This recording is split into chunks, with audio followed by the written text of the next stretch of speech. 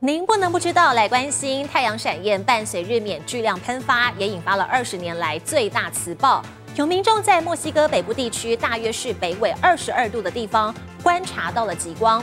那民众也很好奇，台湾跟墨西哥纬度差不多，为什么没有看到极光呢？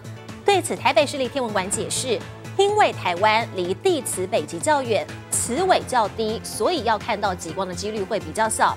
但我国气象署也有侦测到台湾出现了强烈的地磁扰动，但目前还没有传出灾情。欧若拉女神降临，不同颜色的极光大爆发。二十多年来威力最强的太阳风暴侵袭地球，在全球不少中高纬度的地方带来壮观的极光秀，就连纬度较低的墨西哥都出现极光。有民众好奇，台湾跟墨西哥纬度差不多，为何没看到？地球的那个经纬度最上面那个点，它是我们的地理北极。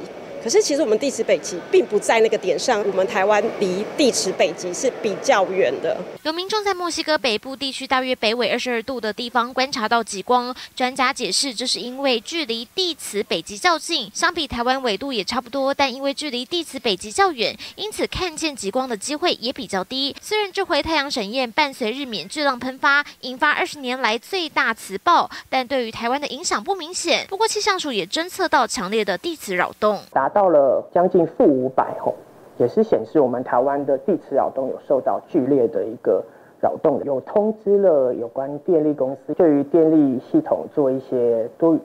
监控强烈磁暴发生，首当其冲的还是太空中的卫星，像是我国的福卫五号、福卫七号等。原本同步卫星会在地球磁层内受到保护，但是受到强烈磁暴影响，太阳风推挤，地球磁层被挤压到同步卫星轨道内，同步卫星就有可能受到高能粒子影响。有关卫星的高度以及姿态，也有请太空中心留意。